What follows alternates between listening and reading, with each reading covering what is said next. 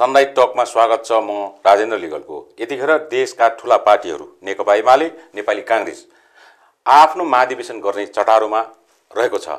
आज हामीले यसै सेरोफेरोमा रहेर नेकपा एमालेको दसौँ राष्ट्रिय महाधिवेशन र वर्तमान समसामयिक राजनीतिबारे कुराकानी गर्नुको लागि नेकपा एमालेका केन्द्रीय सदस्य युवा नेता ठाकुर गैरोलाई आमन्त्रण गरेका छौँ। सनलाइट टकमा स्वागत छ ठाकुरजीलाई। नमस्कार। नमस्कार। यतिखेर ठुला पा- देशका ठुला पार्टीहरू दसौँ महाधिवेशन गर्ने चटारोमा छ र तपाईँहरूको पार्टी नेकपा एमाले पनि। अब यही मङ्सिरको पहिलो हप्ता दसौँ महाधिवेशन गर्दै हुनुहुन्छ। यो तयारी कसरी अगाडि बढाउनु भएको छ यसको प्रतिनिधि सङ्ख्या कुन ठाउँमा गर्दै हुनुहुन्छ जानकारी गरे। अ, हामीले यो नेकपा एमालेको दसौँ महाधिवेशन मङ्सिरको दस एघार बाह्र गते चितवनमा आयोजना गरिएको छ। दस गते चितवनको नारायणगढ स्थित नारायणी नदीको किनारमा एउटा भव्य समारोहका बिच हामीले पाँच लाखभन्दा बढी जनताको सहभागितामा पार्टीको महाधिवेशनको उद्घाटन कार्यक्रम गर्ने तयारी तीव्र रूपमा चलिरहेको छ। र सँगसँगै हिजो सत्ताइस गते हामी आज अट्ठाइस गते तपाईँसँग हामी म कुरा गर्दैछु।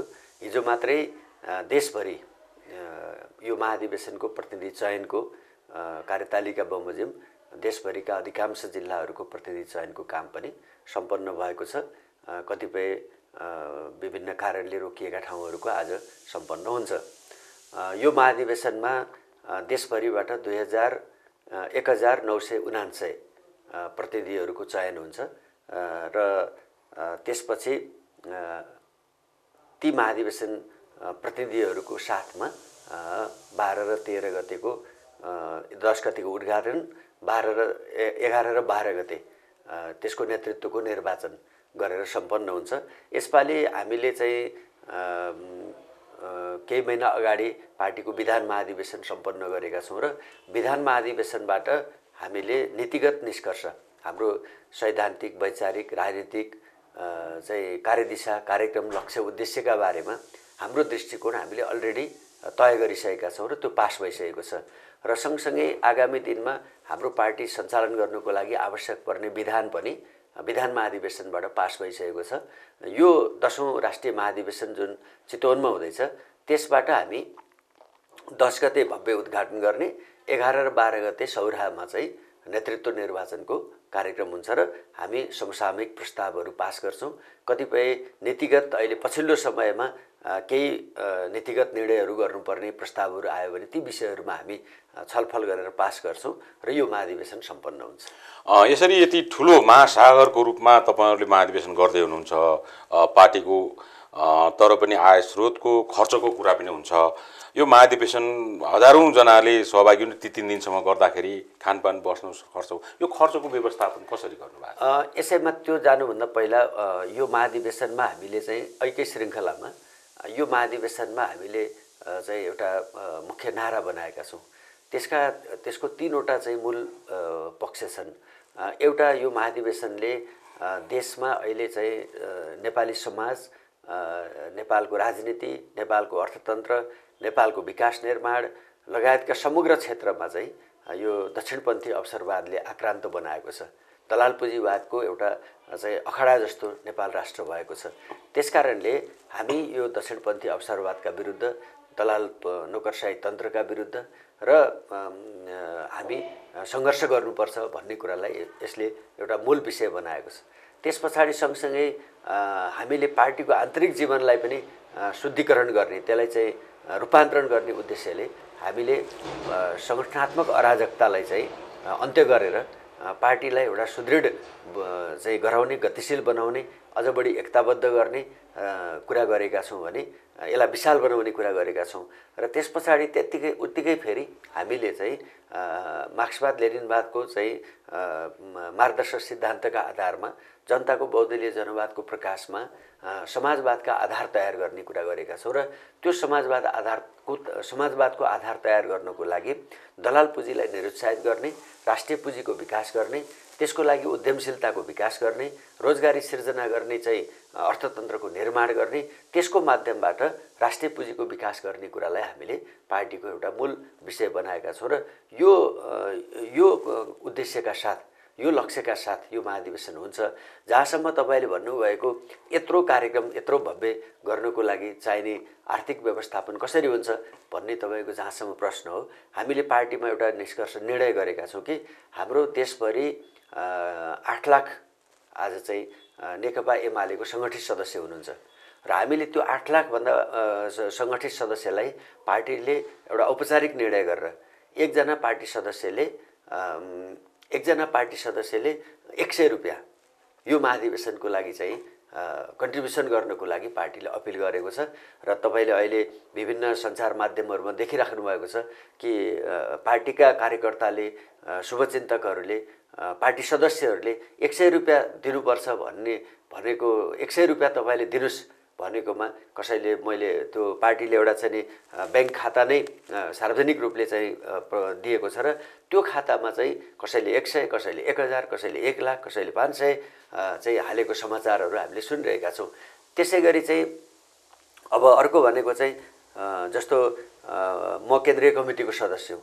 हामीले चाहिँ त्यो महाधिवेशनमा चाहिँ यो प्रतिनिधि भएपछि हाम्रो दर्ता शुल्कको रूपमा हामीले चाहिँ एउटा एउटा केन्द्रीय कमिटीका सदस्यले यो महाधिवेशनको चाहिँ दर्ता प्रक्रियामा चाहिँ तिन हजार रुपियाँ चाहिँ कन्ट्रिब्युसन गर्ने त्यसै गरी चाहिँ जिल्लाबाट छनौट भएका प्रतिनिधि जो प्रतिनिधि भएर जानुभएको छ उहाँले त्यो रजिस्ट्रेसनको निम्ति चाहिँ दुई हजार रुपियाँ कन्ट्रिब्युसन गर्ने। यसरी चाहिँ पार्टीको आन्तरिक जीवनभित्रै पार्टीको कार्यकर्ता पङ्क्तिभित्रैबाट हामीले चाहिँ यसको व्यवस्थापन गर्ने तयारी गरेका छौँ। अनि यो प्रतिनिधि छनौटको सम्बन्धमा माथि लोकतान्त्रिक अभ्यास सबैले जाने इच्छा र चाहना हुन्छ। र पार्टीको निर्देशनअनुसार सहमति अगाडि बढाउनु भयो अथवा इलेक्सन गर्दाखेरि मान्छेको चित्त बुझाउँथे होइन? यो सहमति गर्दा कसैले नेताले पेले पेलेर जाने इच्छा थियो गएन भन्ने एउटा जनगुनासो तपाईँ केन्द्रीय सदस्यले एउटा केन्द्र अवधारणा कस्तो थियो चाहिँ यो प्रतिनिधि छनौटको बारेमा? यसमा चाहिँ हामीले के निर्णय गरेका थियौँ भन्दाखेरि कि यो प्रतिनिधि चयन गर्दाखेरि हरेक जिल्लाबाट नेपाल अधिराज्यभित्रको हरेक जिल्लाबाट समानुपातिक समावेशी प्रतिनिधित्वको सुनिश्चितता गरेका छौँ। त्यसका लागि चाहिँ यदि एकजनादेखि बाह्र सयजनासम्म पार्टीको सङ्गठित सदस्य भएको ठाउँबाट एकजना महिलासहित तिनजना प्रतिनिधि सुनिश्चित जसको जि पचहत्तर सतहत्तरै जिल्लामा समान एउटा वितरणको एउटा त्यो प्रणाली हामीले अवलम्बन गऱ्यौँ त्यसपछि हरेक आठ सय प्रतिनिधि सङ्गठित सदस्य बराबर एकजना थपिने र हरेक तिनजनामा एकजना महिला हुने। यो महाधिवेशनको प्रतिनिधि छनौटमा एउटा अनिवार्य व्यवस्था के गरिएको छ भन्दाखेरि यो महाधिवेशनमा हरेक जिल्लाबाट जति सङ्ख्या को प्रतिनिधि सहभागी हुन्छ त्यसको वान थर्ड महिला सहभागिताको अनिवार्य व्यवस्थापन गरिएको छ। तेत्तिस प्रतिशत। र त्यस पछाडि गएर चाहिँ उत्पीडित समुदायको चाहिँ छुट्टै निर्वाचन क्षेत्र बनाएर उत्पीडित समुदायको प्रतिनिधित्वको सुनिश्चित गरिएको छ र त्यो उत्पीडित समुदायको प्रतिनिधित्व गर्दाखेरि पनि त्यहाँ पनि एक तिहाई महिलाको सुनिश्चितता गरिएको छ। त्यसै गरी पिछडिएको क्षेत्र अल्पसङ्ख्यक जाति जनजाति त्यस पछाडि गएर चाहिँ अपाङ्गता भएका व्यक्तिहरू यो सबैको चाहिँ प्रतिनिधित्वको सुनिश्चितता गरिएको छ एउटा। अर्को चाहिँ यसको छनौटको विधि जहाँसम्म हो छनौट चाहिँ हामी लोकतान्त्रिक अभ्यासबाट नै यसको छनौट गर्ने प्रणाली हामीले अवलम्बन गरेका छौँ। तर त्यसमा चाहिँ हामी आज चाहिँ नेकपा एमाले का विरुद्ध जुन खालको एउटा घेराबन्दी भइरहेको छ त्यस्तो सँगसँगै हामी तत्कालै अब स्थानीय तहको निर्वाचनमा प्रवेश गर्दैछौँ। यो अवस्थामा र पार्टीभित्रका सबै चाहिँ कुराहरूलाई जस्तो हामीले यो नेकपा हिजोको नेपाल कम्युनिस्ट पार्टी नेकपाको निरन्तरता भनेका छौँ। आज चाहिँ भर्खरै चाहिँ पार्टीभित्र पनि एक खालको नेकपा एमालेभित्र चाहिँ नि एउटा पक्ष र विपक्षको स्थिति भयो। त्यहाँ पनि एउटा चाहिँ शक्ति एउटा सानो ठुलो जे भए पनि नेकपा एमाले विभाजन भयो भन्ने सन्देश गएको छ। भने यो सबै कुरालाई मध्यनजर गरेर सकेसम्म सहमतिका साथ। सबै सबै क्षेत्रको सबै पक्षको चाहिँ सबै मनोविज्ञानको चाहिँ सम्बोधन हुने गरी एउटा समझदारीका साथ प्रतिनिधित्व चयन गर्ने कुरालाई हामीले प्राथमिकतामा राख्यौँ। त्यसमा सहमति भयो सहमतिका साथ जाने भयो। त्यसो भएन भने मतदान प्रक्रियाबाट तपाईँले अहिले विभिन्न सञ्चार माध्यमहरूमा हामी सुनिरहेका छौँ। विभिन्न जिल्ला जिल्लामा भोटिङ भइरहेको छ। विभिन्न जिल्लामा सहमतिका साथ टुङ्गिएको छ।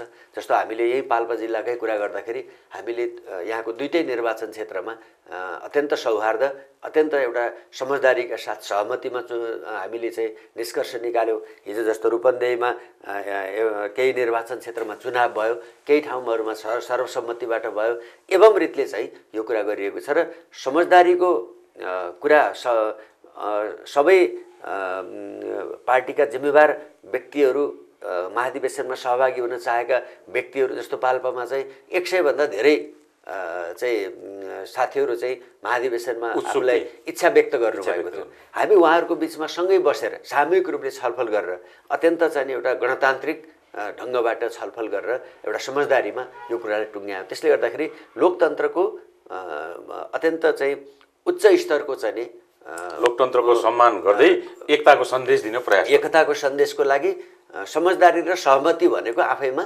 उन्नत लोकतन्त्र। उन्नत लोकतन्त्र। यसरी चाहिँ हामी गरायौँ र एउटा एकताको प्रयास र एकताको सन्देश दिउँ र छिटपुट केही त्यस्तो भयो भने त्यहाँ लोकतान्त्रिक अभ्यास हामी अगाडि बढ्यौँ।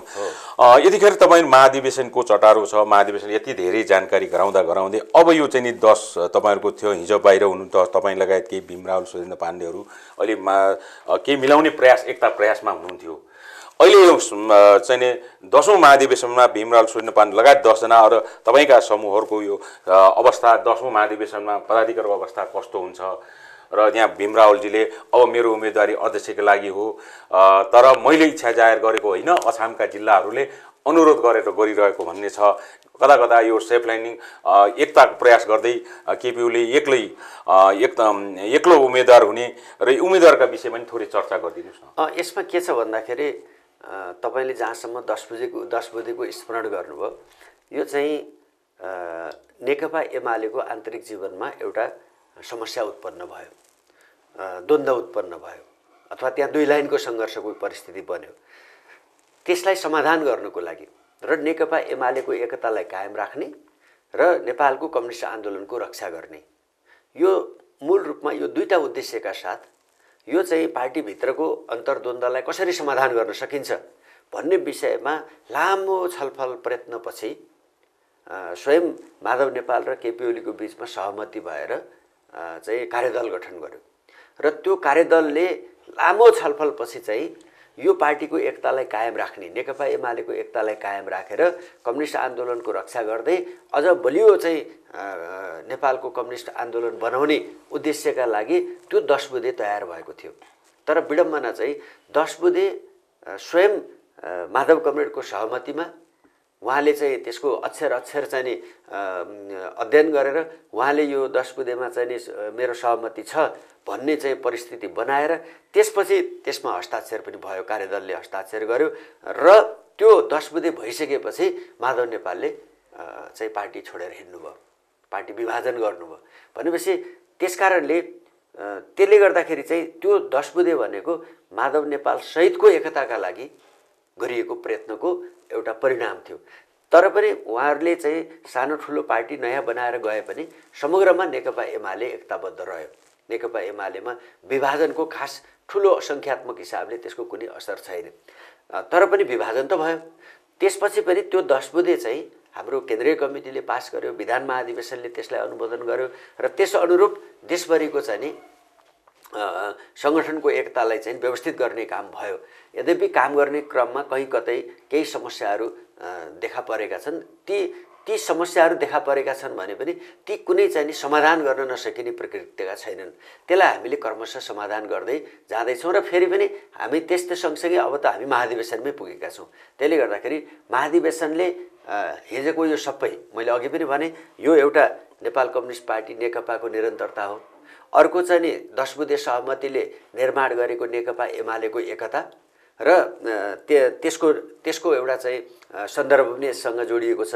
र समग्रमा चाहिँ यो के हो त भन्दाखेरि नेकपा एमालेलाई अझ बढी एकताबद्ध गर्ने नेकपा एमालेलाई अझ बढी विशाल बनाउने यसको आन्तरिक जीवनलाई विचार प्रधान बनाउने यसलाई चाहिँ विधिसम्म चल्ने बनाउने यसको चाहिँ एउटा अत्यन्त लोकतान्त्रिक प्रणालीमा यो चल्ने यसको आन्तरिक लोकतन्त्रलाई बलियो बनाउने र सँगसँगै नेकपा एमालेको नेतृत्वमा सिङ्गो लोकतन्त्रको रक्षा संविधानको रक्षा र कार्यान्वयन नेपालको चाहिँ राष्ट्रियताको संरक्षण यसको जगेर्ना गर्ने यसलाई बलियो बनाउने नेपालको स्वाभिमानलाई अझ चाहिँ नि अझ बलियो चाहिँ निर् बनाउनेदेखि लिएर हाम्रो चाहिँ आर्थिक सामाजिक रूपान्तरणको जुन समाजवादको आधार तयार गर्ने र वैज्ञानिक समाजवादतर्फ जाने जुन लक्ष्यतर्फ लैजानको लागि अब फेरि नेकपा एमालेको नेतृत्वमा सबै कम्युनिस्ट पार्टीहरूलाई फेरि गोलबद्ध गरेर एकताबद्ध कम्युनिस्ट आन्दोलन निर्माण गर्ने कुराको एउटा चाहिँ त्यो उचाइका साथ नेकपा एमाले चाहिँ यो महाधिवेशनबाट अगाडि बढ्छ। तर यो भीमरावलको ढङढङ्गी त हट्या छैन। कहिले के भन्नुहुन्छ कहिले अहिले अध्यक्षको कुरा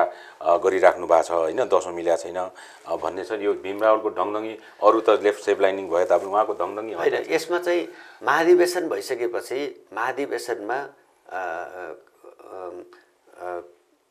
कसले कुन पदमा इच्छा राख्ने? जस्तो मैले यहाँ भने नि पाल्पा जिल्लामा चाहिँ अब महाधिवेशन प्रतिनिधिको लागि सयजनाभन्दा धेरै कामरेडहरूले आफ्नो इच्छा व्यक्त गर्नुभएको थियो। तर एउटा प्रक्रियाबाट एउटा विधिबाट पन्ध्रजना जान पाउने व्यवस्था थियो पन्ध्रजना हामीले छनौट गऱ्यौँ। त्यसै गरी महाधिवेशनमा चाहिँ देशभरि यति ठुलो नेता कार्यकर्ताहरूको पङ्क्ति छ। तर अब चाहिँ केन्द्रीय कमिटी दुई सय पच्चिसको हुन्छ। भनेपछि अवश्य पनि केन्द्रीय कमिटीको सङ्ख्या र इच्छा राख्नेहरूको सङ्ख्यामा ठुलो चाहिँ फरक छ र इच्छा राख्नेहरूको सङ्ख्या ठुलो हुन्छ। तर एउटा प्रणालीबाट त्यसको समाधान गर्नुपर्छ। भनेपछि हामीले चाहिँ महाधिवेशनमा अब चाहिँ कसैलाई अध्यक्ष बन्ने इच्छा हुन्छ कसैलाई महासचिव बन्ने इच्छा हुन्छ कसैलाई केन्द्रीय कमिटीको सदस्य बन्ने इच्छा हुन्छ त्यसको एउटा प्रक्रियाबाट समाधान हुन्छ। इच्छाहरू व्यक्त महाधिवेशन हलभित्र गएपछि हुन्छन्। त्यो स्वाभाविक कुरा हो र महाधिवेशनले त्यसलाई एउटा प्रक्रियाबाट नेतृत्वको निर्वाचन महाधिवेशनै नेकपा एमालेको दसौँ महाधिवेशनको टुस हटाउँछ। यसरी बुझौँ अब होइन हटाउँछ प्लानिङ गरेर सबलाई एकताबद्ध भएर नेकपालाई अगाडि बढाउँछ। नेकपा एमाले चाहिँ यो महाधिवेशनबाट चाहिँ नीतिगत हिसाबले विधिका हिसाबले प्रणालीका हिसाबले लक्ष्य र उद्देश्यका हिसाबले कार्यदिशा र कार्यक्रमका हिसाबले र सँगसँगै आन्तरिक लोकतन्त्रलाई बलियो बनाउँदै एउटा सशक्त चाहिँ नेतृत्व निर्वाचन गरेर सम्पन्न हुन्छ। अब यसरी चर्चा गरिरहँदा पार्टीको कुरा गरिराख्दाखेरि अब ठाकुर गैरीको पनि कुरा गरौँ। नेकपा एमालेको दसौँ महाधिवेशन हुँदै हुँदाखेरि युवा नेता ठाकुर गैरीको पनि केन्द्रीय सदस्यको चर्चा चलिरहँदाखेरि अब तपाईँहरूको तयारी कस्तो चर्चा हो वा होइन? हामीले सुनेको गलत छ। उम्मेदवार म हुने जो हो चर्चा मात्रै हो। होइन म ठिक छु म तयारी गर्दैछु भने यसबारे पनि थोरै चर्चा गर्नु केन्द्रीय सदस्यको मात्रै चर्चा हो र अलिक पदाधिकारीतिर चर्चा पदाधिकारी हो कि के छ? उम्मेदवारीको चर्चा भनेर हामीले सुनिरहेका छौँ। त्यो पदाधिकारी भए पदाधिकारी भनिदिनु उम्मेदवारी केन्द्रीय सदस्य भए केन्द्रीय सदस्यको चर्चा गरिदिनुहोस्। होइन म चाहिँ खास गरी नेपालको विद्यार्थी आन्दोलनमा लामो चाहिँ अवधि मैले काम गरेँ र एउटा नेपालको सबभन्दा ठुलो चाहिँ विद्यार्थी सङ्गठनको सबभन्दा पपुलर विद्यार्थी सङ्गठनको आन्दोलनको चाहिँ एउटा नेतृत्व गर्ने अवसर मैले पाएँ र त्यो सफलतापूर्वक मैले गरेँ अनेरा सुईको अध्यक्ष भएर। अब त्यस पछाडि म चाहिँ नेकपा एमालेको आठौँ राष्ट्रिय महाधिवेशन बुटवलमा जुन सम्पन्न भएको थियो त्यो आठौँ राष्ट्रिय महाधिवेशनबाट म केन्द्रीय कमिटीमा चयन सदस्यमा निर्वाचित भएको हुँ। र मेरो अलिकता फरक विशेषता पनि रह्यो। कि म आठौँ राष्ट्रिय महाधिवेशनमा स्वतन्त्र उम्मेदवार भएर निर्वाचित भएको थिएँ। नौ महाधिवेशनमा पुनः म केन्द्रीय कमिटीमा निर्वाचित भएँ। यस हिसाबले हेर्दाखेरि म केन्द्रीय कमिटीमा आएको पनि तेह्र चौध वर्ष भयो। मेरो अवधि भयो। यो महाधिवेशनमा अब हामी चाहिँ महाधिवेशनको प्रक्रियातर्फ जाँदैछौँ।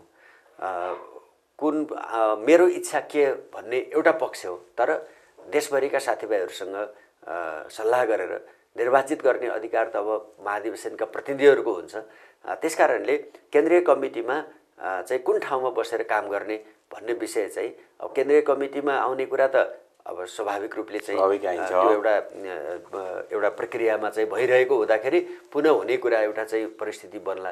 र तर पनि यो विषय चाहिँ पार्टीमा महाधिवेशनमा प्रतिनिधि भएर आउनुभएका प्रतिनिधिहरूको चाहिँ जिम्मेवारीको कुरा हुन्छ। महाधिवेशनले के जिम्मेवारी प्रदान गर्छ त्यो त्यही ठाउँमा बसेर काम गर्ने इच्छा त नै हो। कुरा हो। स्वाभाविक स्वाभाविक रूपमा स्वाभाविक कुरा भयो त्यो चाहिँ। अनि यतिखेर अब करिब करिब एमालेको कुरा गरिरहँदाखेरि अब फेरि पार्टीतिर फर्कौँ। यो नेकपा एमाले र नेकपा समाजवाद एकीकृत एउटा कार्यगत एकता हुने कतिको सम्भावना देख्नु भएको छ। होइन यसमा चाहिँ पहिलो कुरा त यो विभाजन कुनै आवश्यक कुरा थिएन। यो विभाजनको औचित्य पुष्टि गर्न सक्ने सामर्थ्य चाहिँ त्यसलाई सिद्ध गर्न सक्ने कुनै त्यसका राजनीतिक वैचारिक सैद्धान्तिक कुनै आधारहरू छैनन्।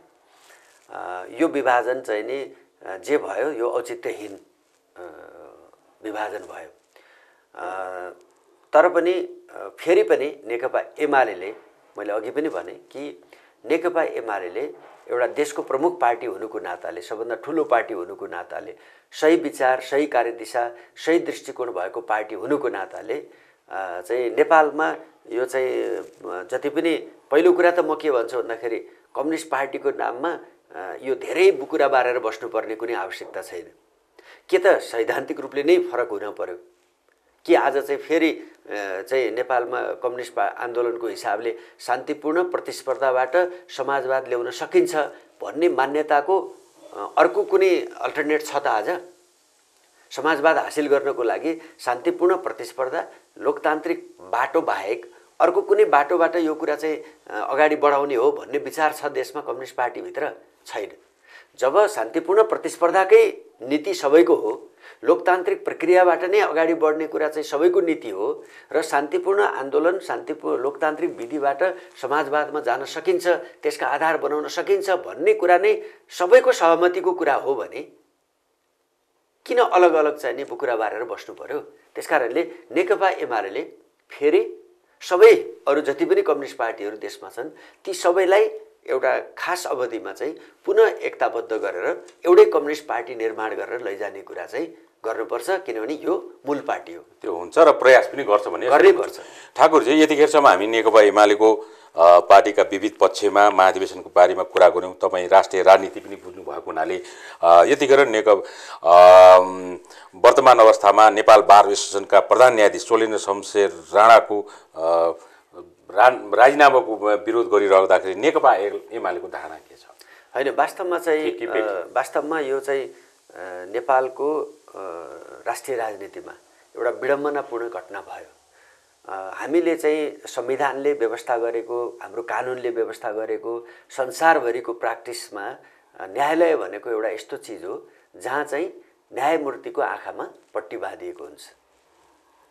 उसले मान्छे हेरेर फैसला गर्दैन। त्यसरी त्यसलाई चाहिँ स्वतन्त्र न्यायालय भनिन्छ। होइन? निष्पक्ष चाहिँ फैसलाको चाहिँ आधार खोजिन्छ त्यहाँ। त्यहाँ कुनै राजनीतिक चाहिँ गन्ध त्यो ठाउँमा न्यायालयमा हुँदैन भनिन्छ। त्यस्तो एउटा चाहिँ नि स्वतन्त्र चाहिँ एउटा चाहिँ दुधको दुध पानीको पानी छुट्याउनको लागि बनेको संस्था चाहिँ नेपालको एउटा दुर्भाग्य के भयो त भन्दाखेरि त्यो चाहिँ कार्यकारी भूमिकामा रहेको सरकार र त्यो सरकारको नेतृत्व गर्ने पार्टी र न्यायालयको बिचमा मन्त्रीमा समावेश हुने न्यायालयले अहिलेसम्म चाहिँ पार्टीको बिचमा भागबन्डा भएर सरकार बन्यो भन्ने कुरा त हामीले सुन्दै आएका हौँ। यो पनि हामीले आलोचना गर्दै आइरहेका छौँ। यो राम्रो भएन भनिरहेका छौँ। यो लोकतान्त्रिक भएन भनिरहेका छौँ। त्यसमाथि चाहिँ न्यायालय र सरकार न्यायालय र राजनीतिक पार्टीको बिचमा भागबन्डा गरेर अनि न्यायालयको कोटामा मन्त्री बनाउने। न्यायालयको कोटामा मन्त्री पद भागबन्डा गर्ने न्यायालयको सिफारिसमा आएर व्यक्तिहरू मन्त्री हुने। यो भनेको ज्यादै संवेदनशील विषय हो। यस्तो भएपछि मान्छेले चाहिँ अन्यायमा परेका मान्छेले न्याय पाउने कुरा कहाँबाट कल्पना गर्न सक्छन्? त्यसले गर्दाखेरि नेकपा एमाले के चाहन्छ भन्दाखेरि न्यायालयलाई स्वतन्त्र न्यायालयको रूपमा स्थापित गर्न चाहन्छ। न्यायालयलाई चाहिँ निष्पक्ष चाहिँ भूमिका निर्वाह गर्ने संस्थाको रूपमा विकास गर्न चाहन्छ। त्यो न्यायालयले गरेको फैसला कसैले पनि चाहिँ अब्जेक्सन गर्न पाउँदैन। त्यो अन्तिम सर्वोच्च अदालत भनेको त्यो पनि संविधानको व्याख्या गर्ने अन्तिम फैसला गर्ने निकायमा जुन खालको राजनीतिक अखडा त्यसलाई बनाइयो यो चाहिँ सबभन्दा ठुलो चिन्ताको विषय हो। यसले नेपालको लोकतन्त्रलाई नेपालको न्याय क्षेत्रलाई नेपालको चाहिँ चाहिँ एउटा कानुनी राज्यको अवधारणालाई यसले समाप्त गर्छ। त्यसले गर्दाखेरि त्यो चाहिँ जुन राजनीतिक केन्द्र न्यायालय सर्वोच्च अदालत राजनीतिक गतिविधि गर्ने राजनीतिक लेनदेन गर्ने चाहिँ को मन्त्री बनाउने को मन्त्री नबनाउने के फैसला गर्दाखेरि कुन पार्टीलाई फाइदा हुन्छ भनेर त्यसका आधारमा फैसला गर्ने केन्द्रको रूपमा जुन सर्वोच्च अदालत अहिले प्रकट भएको छ यसलाई ती सबै चिजबाट मुक्त गरेर स्वतन्त्र न्यायालयको रूपमा पुनर्स्थापित गर्ने कुरा नेकपा एमालेको विचार हो। विचार हो। हामी त्यो गर्न चाहन्छौँ। अहिले जे भइरहेको छ त्यो अत्यन्त बेठिक भएको छ। अत्यन्त चाहिँ नि एउटा एउटा चाहिँ दुःखद यो घटना हो।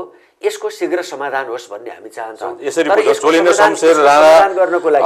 को काम प्रक्रिया गलत छ। तर एसोसिएसनले गरेको जुन आन्दोलन त ठिक छ। होइन त्यसमा चाहिँ पक्षमा लागेको नै ठिक। त्यसो होइन बारका मा- बारले जे उठाइरहेको छ त्यो कुरालाई बेठिक भन्न सकिँदैन। तर त्यसको समाधान चाहिँ फेरि राजनीतिक चाहिँ निर्णयबाट त्यसको समाधान। गर्ने हो वा त्यो चाहिँ त्यही न्यायालयभित्रको चाहिँ नि एउटा परिस्थितिबाट त्यहाँको समझदारीमा अथवा त्यहाँको चाहिँ नि आन्दोलनको समाधान त्यहीबाट गर्ने हो भन्दाखेरि म फेरि पनि के चाहन्छु भन्दाखेरि न्यायालयलाई राजनीतिबाट मुक्त मुक्त गर्नुपर्छ।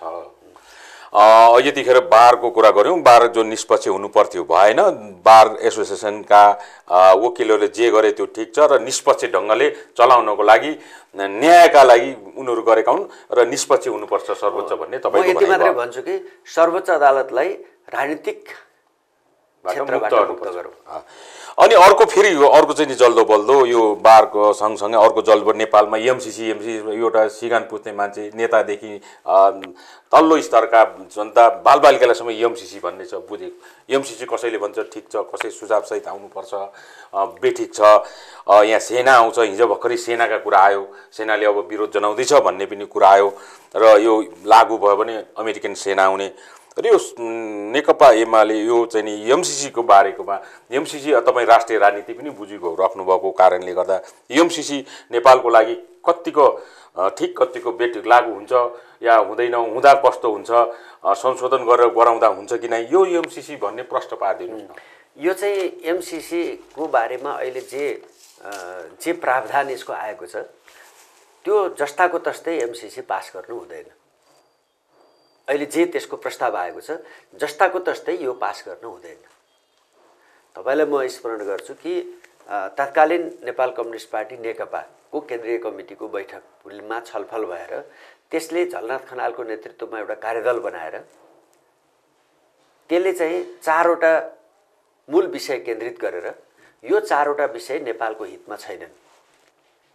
त्यसको चाहिँ बौद्धिक सम्पत्तिको विषय त्यसको लेखा प्रणालीको विषय त्यस पछाडि गएर चाहिँ यो संविधान प्रमुख हो कि एमसिसी प्रमुख हो भन्ने विषय अन्तर्देशीय प्रसारण लाइन चाहिँ निर्माण गर्दाखेरि चाहिँ बिआरआईसँग चाहिँ यसको चाहिँ जोडिने विषयदेखि लिएर यी कतिपय प्रावधानहरू चाहिँ का बारेमा चाहिँ रिभ्यू गरेर त्यसलाई चाहिँ त्यसलाई चाहिँ स्पष्ट गरेर त्यसलाई संशोधन गरेर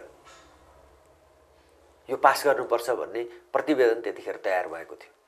त्यस कारणले त्यो चाहिँ त्यो प्रतिवेदन उचित थियो। त्यसैले म भन्छु कि यो जस्ताको तस्तै पास गर्नु हुँदैन। त्यसमा चाहिँ के छ भने अमेरिकी सरकार र नेपाल सरकारको बिचमा यसलाई पुनः चाहिँ नि छलफल गरेर यसलाई संशोधन गरेर अगाडि बढाउनुपर्छ। संशोधनबाट अगाडि गयो भने यो पास राम्रो। लागु हुनसक्छ। हामी के चाहन्छौँ भन्दाखेरि अमेरिकी जनता र नेपाली जनता अमेरिकी शासक वर्ग युरोपियन युनियनका कतिपय शक्ति केन्द्रहरू भारतीय शासक वर्ग कहिले पनि नेपाल र नेपालीको हितमा स्वच्छ मनसायले चाहिँ आएको हामीले। पाएका छैनौँ त्यस कारणले तर अमेरिकी जनता र नेपाली जनताको बिचमा भारतीय जनता र नेपाली जनताको बिचमा जुन सुमधुर सम्बन्ध छ जुन एकता छ यसलाई चाहिँ दिगो बनाउने यसलाई निरन्तर अगाडि बढाउने उद्देश्यका लागि र सँगसँगै नेपालको चाहिँ विकासमा चाहिँ प्रसारण लाइनमा सडक चाहिँ निर्माणमा अमेरिकी सरकारले दिन दिएको अनुदान चाहिँ हामीले नलिने भन्ने प्रश्न हुँदैन। हामीले त्यसलाई लिनुपर्छ तर त्यो चाहिँ के छ भन्दाखेरि कुनै नेपाल र नेपाली जनताको अहितमा लिएका शर्तहरूलाई मन्जुर गरेर अनुदान खान हुँदैन। अनि खानु हुन्न प्रयोग हुनु हुँदैन। प्रयोग हुनु हुँदैन। ठाकुरजी करिब कार्यक्रमको अन्त्यतिर छौँ। अन्तमा तमाम दर्शकहरूलाई एउटा महाधिवेशनको बारेमा मैले केही भन्न छुटेँ। राष्ट्रिय राजनीतिको बारेमा। महाधिवेशनको बारेमा केही छ भने टेलिभिजन हेर्नुको दर्शकलाई अब अनि मैले। दुईवटा कुरा चाहिँ नि म जिल्लाको विकाससँग थोरै कुरा गर्न चाहन्छु कि हामीले चाहिँ हामीले पाल्पाको विकासमा पाल्पाको विकास निर्माणमा पाल्पाको पर्यटन विकासमा कृषिको विकासमा हाम्रो यहाँको चाहिँ दैनिक व्यापार बिजनेस लगायतका कामहरूमा चाहिँ हाम्रो यो बुटोल तानसेन सिद्धबाबा सडकको समस्याले हामीलाई कठिनाइ भइरहेको छ एक हिसाबले भन्दाखेरि हामी चाहिँ एउटा मृत्यु मार्गको चाहिँ रूपमा यो चित्रित छ र त्यसलाई चाहिँ एउटा मृत्यु मार्गको रूपमा चित्रित भएको सडकलाई स्वर्ग मार्ग बनाउने एउटा अभियान हाम्रो जारी छ जसले गर्दाखेरि समग्र पाल्पा र यस क्षेत्रको विकासमा महत्त्वपूर्ण कुरा हुन्छ। त्यो चाहिँ स्वर्ग मार्गको प्रक्रिया अब अगाडि बढेको छ र अब त्यो छिटै निर्माणको प्रक्रियामा जाँदैछ। त्यस्तै सँगसँगै हामीले पाल्पाको विद्युतीकरण शिक्षा स्वास्थ्य पाल्पा जिल्लालाई एउटा शिक्षा क्षेत्रको चाहिँ हब सेन्टरको रूपमा विकास गर्ने एउटा शैक्षिक केन्द्रको रूपमा प्राविधिक शिक्षाको केन्द्रको रूपमा यसलाई विकास गर्ने पाल्पामा प्रचुर कृषिको सम्भावना छ यसको व्यावसायिकीकरण यसको चाहिँ औद्योगिकरण गर्ने यसलाई चाहिँ के छ भन्दाखेरि अझ समृद्ध बनाउनुको लागि गर्ने पाल्पा पर्यटकीय हिसाबले पर्यटन विकासको एउटा प्रचुर सम्भावना भएको ठाउँ छ त्यसलाई त्यस रूपमा अगाडि बढाउनेदेखि लिएर समग्र यहाँको चाहिँ रोजगारीका समस्याहरू यहाँको चाहिँ नि अरू जति पनि चाहिँ जनचाहनाका प्रश्नहरू छन् त्यसलाई समाधान गर्नको लागि चाहिँ हामी प्रयत्नशील छौँ। त्यसको लागि चाहिँ यो महाधिवेशनले बनाउने नीतिले यो महाधिवेशनले चाहिँ एउटा दिशा निर्देश गर्ने एउटा गाइड गर्ने नीतिमा समग्र समग्र चाहिँ देशभित्र हाम्रो जिल्लाको पनि विकासको निम्ति एउटा यो एउटा महत्त्वपूर्ण विषय जोडिएर आउने विषय हो। र सँगसँगै हामीले चाहिँ हाम्रो हाम्रो चाहिँ भौतिक पूर्वाधारको विकास सँगसँगै हाम्रो चाहिँ एउटा मानवीय चेतनाको विकास एउटा चाहिँ एउटा हाम्रो विभिन्न जाति जनजाति भाषा धर्मको बिचको एकताको अझ समृद्ध बनाउने कुरादेखि लिएर समग्रमा पाल्पा जिल्लाको विकास त्यस्तै सँगसँगै हाम्रो क्षेत्रको विकास र सिङ्गो देशको विकास र सामाजिक सद्भावसहितको राष्ट्रिय एकतालाई बलियो बनाउने हाम्रो चाहिँ एउटा हिमाल पहाड तराईको चाहिँ जुन युनिटी छ यसलाई अझ बलियो बनाउने नेपाललाई अझ बढी स्वतन्त्र सार्वभौम सत्ता सम्पन्न कुनै पनि विदेशी राष्ट्रको हस्तक्षेपबाट चाहिँ कहिल्यै हामी पीडित हुन नपर्ने कुराको सुनिश्चितता बनाउने लगायतका चाहिँ यावत प्रश्नहरू हामीले गर समाधान गर्नुपर्नेछ। र सँगसँगै यो संविधानको रक्षा र यसको कार्यान्वयनको प्रश्न त्यस पछाडि गएर हामीले लोकतान्त्रिक गणतन्त्रलाई एउटा जनताको चाहिँ समस्या समाधान गर्ने व्यवस्थाको रूपमा यसलाई स्थापित गर्ने कुरा हामीले पुरा गर्नुपर्नेछ र यी यावत कामहरूलाई सम्पन्न गर्नको लागि यो नेकपा एमालेको दसौँ महाधिवेशनले एउटा दिशानिर्देश गर्नेछ र यो महाधिवेशनबाट निर्वाचित हुने नेतृत्व हामी मलाई आशा छ कि महाधिवेशनले सर्वसम्मत नेतृत्वको निर्वाचन गर्नेछ। चुनाव भयो भने पनि एउटा स्वच्छ मर्यादित चुनावको प्रक्रियाबाट लोकतान्त्रिक प्रक्रियाबाट हुनेछ र त्यो महाधिवेशनबाट निर्वाचित भएको नेतृत्वमा आगामी अब छ महिनापछि हुने स्थानीय तहको निर्वाचनमा नेकपा एमालेको चाहिँ विजयलाई सुनिश्चित गर्ने त्यसपछि प्रदेश र सङ्घको निर्वाचनमा नेकपा एमालेको विजयलाई सुनिश्चित गर्ने आधार तयार गर्नेछ भन्ने कुरा पनि म जोड्न चाहन्छु र म यो टेलिभिजन मार्फत। टेलिभिजन मार्फत हामीले चाहिँ भर्खरै चाडबाडहरू सम्पन्न गरेर अब हामी चाहिँ एउटा प्रक्रियामा अगाडि बढ्दैछौँ। यो टेलिभिजन मार्फत म अपिल गर्न चाहन्छु कि सबैलाई नेकपा एमालेको झन्डामुनि गोलबन्द हुनुको लागि म अपिल गर्न चाहन्छु। राजनीतिक पार्टीहरूको बिचमा एउटा स्वस्थ प्रतिस्पर्धाको निम्ति म अपिल गर्न चाहन्छु र सबैको बिचमा एउटा न्यूनतम विकास निर्माण लगायतका काममा एकता सहमति स सहकार्य गर्दै यो देशको चाहिँ विकास निर्माण हाम्रो राष्ट्रियताको संरक्षण देशको जगेर्ना गर्ने काममा चाहिँ सबै मिलेर अगाडि बढौँ भन्ने कुरा अपिल समेत गर्न चाहन्छु र मलाई यो महत्त्वपूर्ण अवसर दिनुभएकोमा चाहिँ म हार्दिक धन्यवाद पनि भन्न चाहन्छु। हुन्छ। तपाईँहरूको नेकपा एमालेको दसौँ महाधिवेशन पूर्ण रूपमा सफल होस् समय दिनुभएकोमा ठाकुर गैजीलाई टेलिभिजनको तर्फबाट धेरै धेरै धन्यवाद दिन चाहन्छु। प्रिय दर्शक आजको सनराइज टक कार्यक्रममा नेकपा एमालेका केन्द्रीय सदस्य युवा नेता ठाकुर गैरीसँग नेकपा एमालेको दसौँ राष्ट्रिय महाधिवेशन राष्ट्रिय राजनीति र विविध पक्ष विकास निर्माणका विविध पक्षमा कुराकानी गऱ्यौँ। अर्को हप्ता अन्य कुनै विषयवस्तु लिएर आउनेछौँ। आजलाई बिदा चाहन्छु। सनराइज टक हेर्दै गर्नुहोला। नमस्कार।